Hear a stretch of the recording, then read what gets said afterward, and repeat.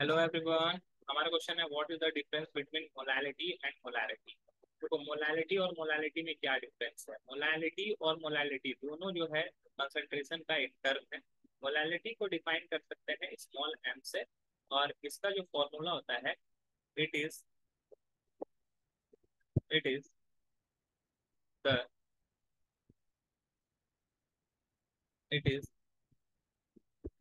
defined as defined as number of moles of solute present in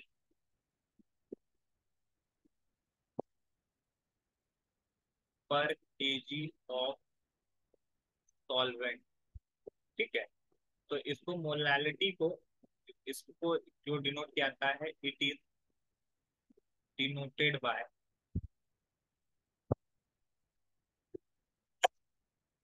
small M इसको small M से denote कर सकते हैं? Small M equal to होता है moles of solute moles of solute by weight of solvent in kg ठीक है?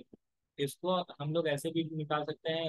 Moles of solute को हम लोग लिख सकते हैं weight by molecular weight into weight by solvent ठीक है? ये केजी में अगर इसको ग्राम में लिया गया तो इसको हंड्रेड सॉरी थाउज़ेंड से मल्टीप्लाई करना अब हम लोग मोलैरिटी की बात करेंगे। मोलैरिटी जो होता है, वो थोड़ा सा डिफरेंट होता है। It is defined as defined as number of moles dissolved in per liter of, per liter of solution एक सॉल्यूशन में पर लीटर सॉल्यूशन में कितना नंबर ऑफ़ मोल्स प्रेजेंट है, वो हम लोग को बताता है। इसको कैपिटल एम से डिनोट किया जाता है। Capital M equals to number of moles by volume of solution ये सॉल्यूशन का वॉल्यूम और इसको भी किसमें लेना है? लीटर में लेना है। अगर हम लोग एम को इस तरह से भी डिनोट कर सकते हैं। Weight by molecular weight into one by volume ये वॉल्यूम जो होगा सॉल्यूशन का होना चाहिए।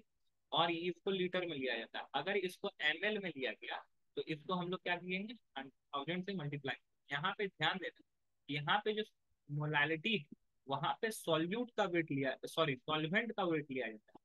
जबकि मोलारिटी में वॉल्यूम जो लिया जाता है वो सॉल्यूशन का वॉल्यूम लिया जाता है।